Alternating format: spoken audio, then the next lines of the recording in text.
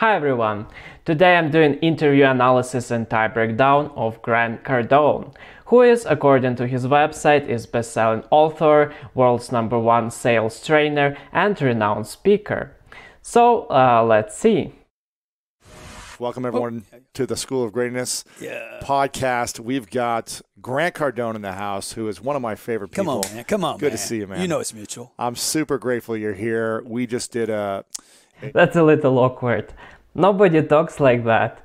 Uh, I feel like it's uh, some kind of uh, prepared cheat that he uses to make other people like him, to make them flattered, to make them like him more. And this kind of tricks uh, usually logics tend to do because uh, ethics they don't really need them and they can do it naturally. So I think it's indication of logic, but it's very small one and you know I could be mistaken. He might have said it for some other reason. authentically aggressive or something like that. It was yeah, AA, yeah. man. I Yeah. said, dude, we going to an AA meeting, man. We're going to have 12 steps, man. Authentically aggressive or something yeah, like that. yeah, Yeah, yeah, and I think it's just you have I, like the whole hustle and the grind Mm-hmm. thing, and the like. I'm not trying to hustle. I'm not trying to grind. I'm not thinking about, oh, I got to go into freaking beast mode now. Mm-hmm. You know, somebody said yesterday, they said, man, you're the most positive person that I know, and I'm like, dude, really, I'm not really. Let me, let me. I'm not really a very positive person. His movements are a little erratic, and his speech as well. He uh, frequently switches uh, the direction of uh, his the conversation, and he mentioned a lot of different things that seemingly not very connected. Instead of like following one line and telling one story and focusing on one story. So these all are indicators for me of irrationality. Interesting that he's saying that he is not he is not positive person, and usually in uh, like this motivational speakers and like all, all the things uh, they teach you to be like very positive and smiley and all the things so that's quite interesting he seems he, he wants to appear as a not positive person and maybe it is what he is and if that's the case then he would be a negativist but it should be confirmed further I you know I don't think good things just happen. I think I think for me to ever you know have a good outcome, I've just had to work really hard. You know, mm-hmm. like I don't get on the front of a magazine easily. right. I'm gonna have to work at that, man. Yeah. That's extroverted logic. You need to work for something to achieve something. And uh, his commitment and the way he behaves is very, uh, like, very confident and sort of domineering way. So I would say he ha- he has high will. Things go they just go differently for her. Me, I gotta like you know I have to push. Have you, have you ever thought about like just taking a step back and letting things come to Yeah, you? yeah, yeah. I have. What happens when you try to just like I like try try for about 28 minutes, and what and happens? then I get terrified, man. Really? I'm like, dude, you got to get it. You got to get back in the game. Hmm. You know, it's like LeBron. Why why does this guy wait? While extroverted sensing is about exerting control, power, danger, and things like that, the pushing things and uh, pushing in life, it's really is will.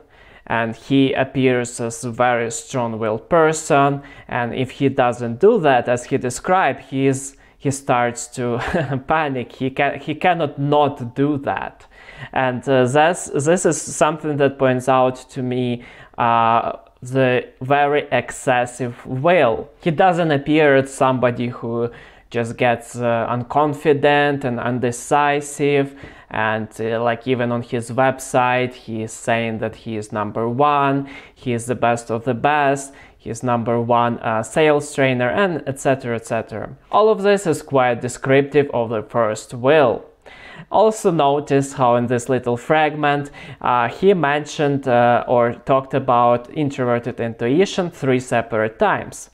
So first he was saying that uh, things for his wife just uh, go in a certain way. When people talk about flow of things, meaning some events that happens in a favorable or unfavorable way, and in this case it's with his wife, it's introverted intuition. And then something very interesting, he says, I tried it for 28 minutes. Uh, man, did you have like a timer set up? to measure for how long you tried it or you just have it in your head like the clock in your head.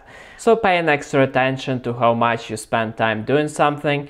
It would be also introverted intuition. And then he says uh, later on that lebron why he waits again, he pointed out that uh, it's a good moment for uh, LeBron to do something, whatever he means. So all of this combined tells me that he at least got introverted intuition in values. What if you reach your potential? Would you say, "Well, I know I could do more"? Probably. Probably. I think that's the spiritual genius of whatever this, you know, this, you know, unbeknownst, you know, unidentifiable power in this universe is, is that like, like, People with introverted intuition and values tend to be more spiritual in general than people that don't have any values. But it's important to note that uh, being spiritual is different than being religious. If you are being spiritual only because you're because of religion you learned it from religion. Or from parents or from somebody else. If it doesn't come from you then it uh, doesn't mean introverted intuition but in his case i think it's coming from him the way he brought it up and the way he is uh, talking about some uh, power that he believes exists uh, beyond material world. I just think the more I get to hang out with you, I really appreciate you. And I'm not trying to like create a love fest here, yeah, yeah, but yeah. I think that so many people don't understand you. yeah. And, again, and we- I, I've done a ba- terrible job, dude. I've done a terrible Well, job. because you're you're one way online, essentially. You know, you kind of put out this persona that's very aggressive. I would say. Well, look, when I start riffing into a piece of data, Yeah. right? So, so uh, when I start saying the mil- the middle class, for instance, the middle class is I like how he is. he looks like he almost laying on a bed. to me, he's like he's so uh, ma- making his body comfortable so easy, so easy adjusting his position and his shoulders, and his body is flexible. And this is uh, great about irrationals that uh, they not only they flexible in their mind, they're flexible with their body as well. But also interesting when Lewis started talking about how people don't understand him, and he agrees that he does a terrible job, basically implying that he is not good at forming people's opinion about him. First, he has also this uh, defensive stance when he puts his hand behind his head. It's um I read it as a defensive body language that it's a sensitive topic for him but in the same time he acknowledges that he doesn't know how to do this and uh, uh, even though he wants to. And he starts to talking uh, in his defense right away that uh, all this um, how i deal with data and this has nothing to do with uh, people's opinion. Like uh, yeah okay he just brought bringing up some facts and some logic like uh, what his uh, process of logical thinking was instead of bringing up why and how people feeling about him and thinking and like um, he doesn't bring all the ethical stuff that ethics would do and he reacts like logic so another thing for him being logic like every, there's nothing about sales sales that I liked. Okay, I didn't like talking to people, didn't like meeting people, didn't like uh, get on common ground. And I'm th- sitting there thinking all the time, well, and because they teach you all this stuff in sales, like like. You, first impression's the most important. I'm like, well, then I'm fucked because I make a bad first impression almost every time. Yeah. He confirms again that his people skills are weak, that he is. Um, it's not only about be, being likable. He's saying he didn't even like. He didn't like to meet people, to talk with them, and uh, yeah, of course, ethics also may not like to meet with people, but at least they can. Uh, it's much easier for them to understand people, and they still will find some common ground if they want to if it's um, especially like he's very dedicated guy so he would definitely use that. But he doesn't have this in his uh, tools in his um, like psychic he doesn't have strong ethics so that's why he struggled. And this is not only uh, the problem of being ethic or logic it also has to do with the position of emotion in your psychosophy. And since he got first will he clearly doesn't have second emotion so uh, he got either third or fourth emotion so he got low emotion which is among other things responsible for emotional interactions with people Oh, yeah, no doubt about it. Not going big enough was definitely Early on, you mean? Yeah. In terms of what? Not going big enough where? Well, I shouldn't. I, I I picked the wrong career to start with. oh, with cars? Definitely. You know, it, it, the pool wasn't big enough. You know, you want to pick something. Looking back, I want to pick something that's got a lot of scale to it. What could it have been? Real estate early on, or Could have been real estate. Could have been Wall Street. Could have been. When we're talking about something big, I want something bigger. It wasn't big enough for me. I want something bigger in scale, uh, uh, like scale of things. I want some global scale. I want large scale. This all is the language of extroverted sensing. As well as always uh, combined with introverted intuition because these aspects they always come together as a values. So he is reflecting on his past, saying he could have gone bigger. So introverted intuition also is there. Okay, that's a big, huge problem. yeah, Uh, I'd look at recruiting. I'd look at. Uh, I'd probably, if I was coming, like if I died today and could reincarnate tomorrow, I'd come back as a hedge fund guy. Because I do. I like how he thinks not only in the category of his current life, but in a category of his next life as well. Like he's thinking ahead so much that he even thinks what would he do in in the next life. So introverted intuition. because I do want to make a lot of money. Like, and that's one thing that I've done. I've been done a decent job of making Yeah. clear. Yeah. Every time I talk to you, how can we make some money, man? Come on, come on, let's make some money. You know. And the reason why I like the money thing is because, and the more I do it, the more I realize, dude, this bugs people bad. It does. It bugs people. Growing out, up, I know you were the same way. No one liked to talk about it. You Dude, know, we don't didn't talk have a, about We it. didn't have a lot of money, and it was always like it was just taboo thing. And- Third quadrant loves money, sometimes to extent that money is not only uh, something you use, it's, it's a goal. For what it's frequently being frowned upon and criticized by other quadras, but um, it, it, it mostly comes just not from understanding of different values. It doesn't mean that it's bad. Sometimes it is bad, sometimes this critic is fair. But because the socionics is not something that is widespread, there is also lack of understanding. The topic of money, uh, getting successful, being rich, being wealthy, all these topics are so attractive to a third quadra especially. Of course, they also can be discussed in any quadra and being of interest to any type potentially, but not nearly as much as the for third quadra. Also, of course, it doesn't mean that it's like a rule and applies in every single case and everyone from third quadra are gonna be like that. But uh, this is very, very like close to heart. Like when he is saying, dude, let's make some money. and uh, money, like making money, extroverted logic. And money in this case is interpreted as a resource, uh, as a power. That's why you, you can never get too much of it. And uh, extroverted logic, extroverted sensing, both values of third quadra. So, not, not a surprise that he talks a lot about it. Never got that check, wow. and I'm so glad I didn't get it. And then I went and took a job that I hated, and hated it, dude. I hated it for two years until I quit fighting it. And I said, I'm, I'm gonna get good at this job, and then I'm gonna leave it. Hmm. I'm gonna leave a job I hate. Another great example of first will. I'm gonna push no matter what. I hate this job, but I'm gonna go. I'm I'm gonna get best at it. I'm gonna get best at it, and then I'm gonna quit.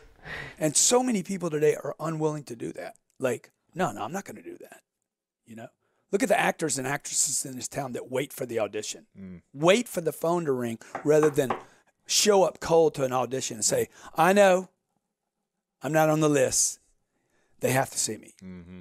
Dude, that takes balls, Balls. big time. Okay. It takes will. That's what I would say. High will always, always finds a way. Always uh, kind of pushes through. Like it, it, it rarely ever gives up. It does give up if it if it thinks that it's totally unwinnable. It may quit. The first will is usually always very very committed to achieve things and to do to get what they want. They're so persistent. Well, which is totally makes sense, right? If it's uh, will is their highest, strongest function, that's what they best at. Where are you going? I said, I'm going to Los Angeles. I had this idea that my wife was in Los Angeles. I knew she wasn't there. That's all I knew.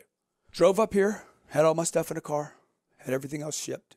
Didn't know where I was going to stay. Mm. Had no clue where I was going to stay. Never been here. Never met anybody here. Didn't know one person here, dude. Didn't make a phone call. Didn't check it out. Didn't even Google it. Going to Los Angeles. I just followed. Like I'm going. Mm.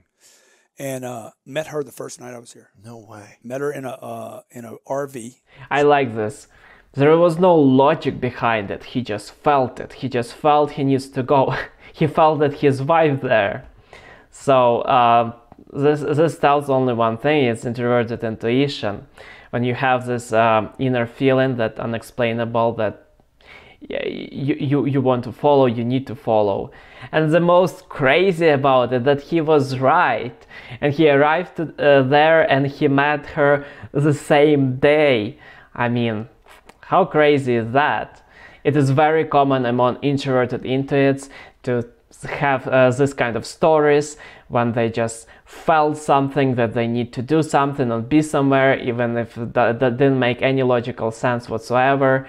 There's nothing that pushed them towards it. They just felt it, they did it, and some significant change uh, happened in their life. And of course, to do something like that, like on a whim, is uh, very, very spontaneous, very irrational. He didn't do any planning and he didn't want to. He didn't even check anything. And it's not just some trip. He just sold the house, everything, and just went uh, into unknown without uh, any desire like to research it or to plan it. So clearly another indication of him being irrational.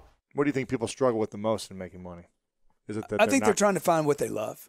You know, everybody's going for what they love, the love thing. This is another misnomer mm-hmm. in our Because society. you made a lot of money doing something you didn't love. Exactly, dude. Everybody's like, find something you love. Dude, don't take that job. Go do something you love. I'm like, you don't even know what you're talking about, right? Oh, I don't want to brag. Again, you're talking about yourself. The guy's selfish. All these people say, well, I'm an introvert. You're selfish, man. Let's call it what it is. Because when you're talking about your introversion, you're assuming no one else is. Mm. You're saying that it's not easy for anybody.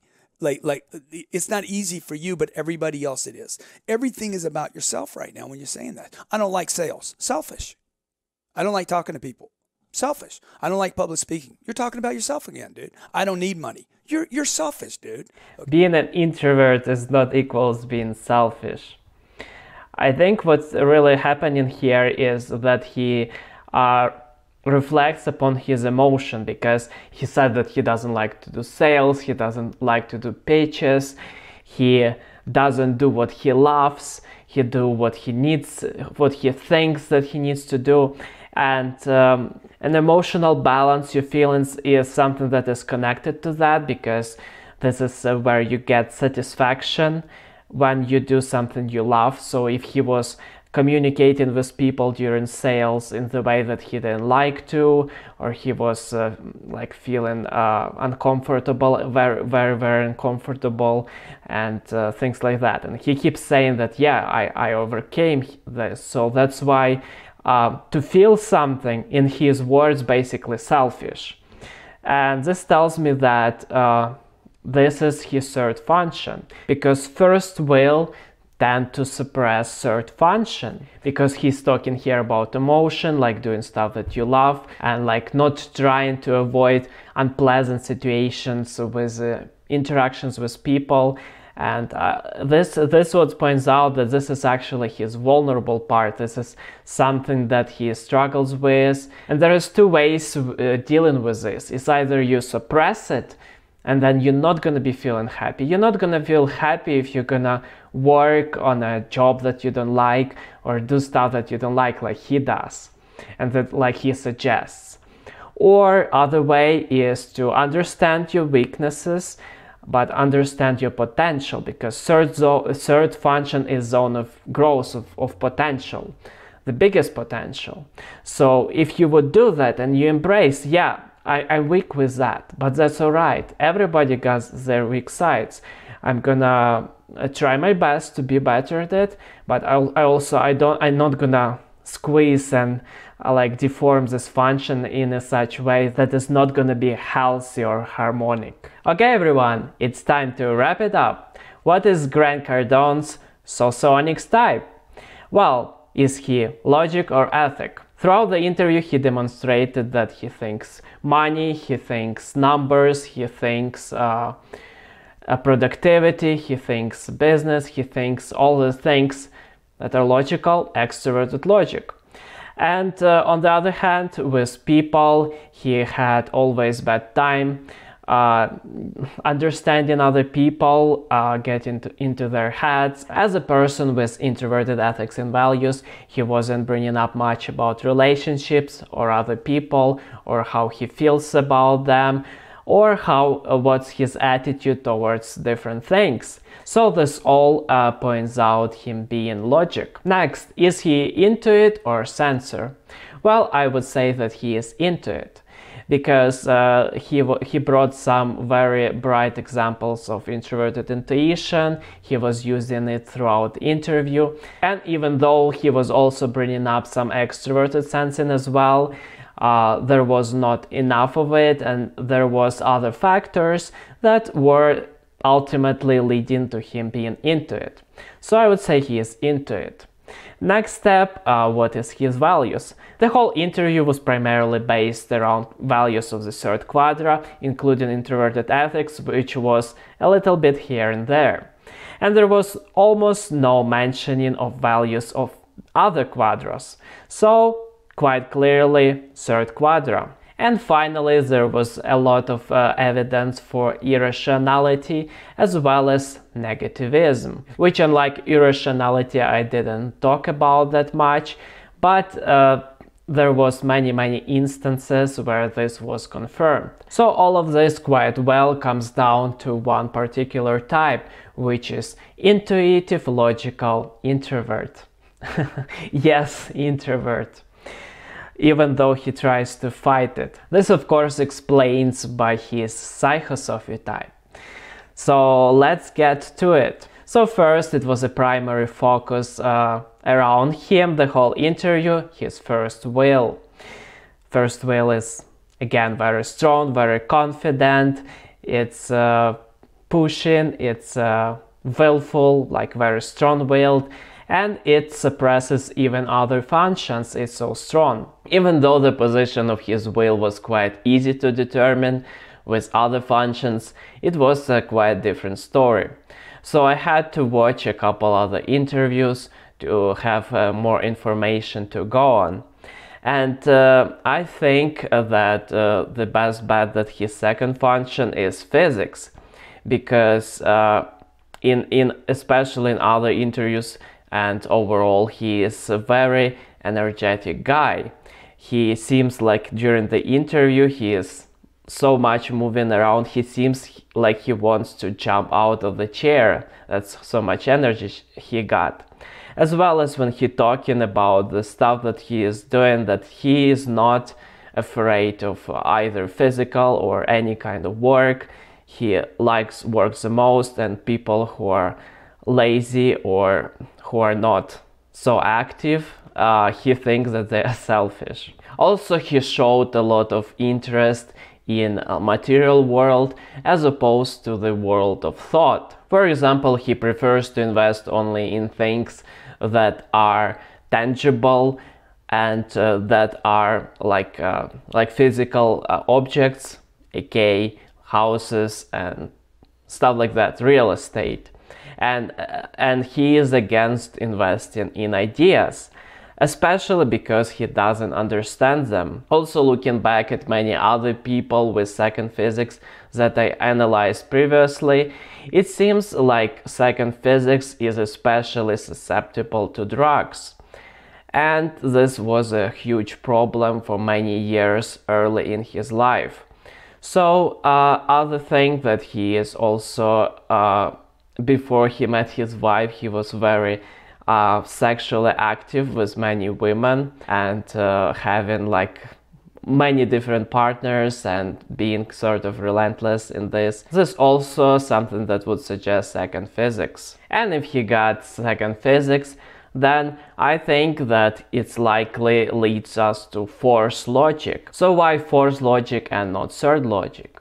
His logic was rather fearless in, in the statements that he was making. He was uh, not afraid to debate certain things and argue on things. In in the statements that he was making, he was he could say some of the uh, most absurd things that uh, either would look genius or silly. Depends uh, how do you approach them and uh, he didn't really uh, put much explanation in in these things. He just so sort of was throwing them out there and saying that yeah people are wrong. This is how it should be. Another argument for him having low logic is that there were some clear logical misconceptions in what he was saying. And what's interesting with fourth logic that in its fearlessness it resembles second logic the most. It can say things that are controversial or unpopular and not being afraid of criticism. I think as for fourth logic, his logic is rather developed. And indeed, the position of logic not necessarily means that it's uh, strong or weak, and his logic is rather strong, but it has uh, char characteristics of the fourth logic. I think he developed his logic a lot through the reading and learning from others. Plus, in the interview, he mostly talks on topics that I think he is already pretty well versed in. And finally, we left with third emotion.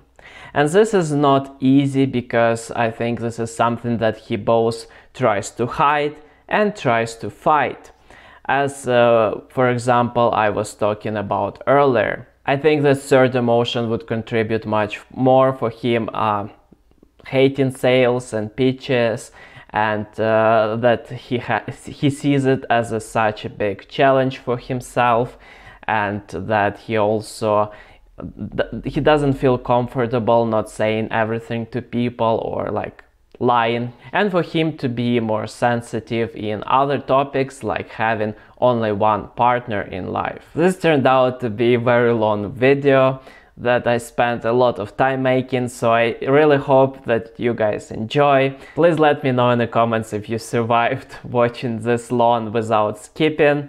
Thank you for watching and see you in the next videos.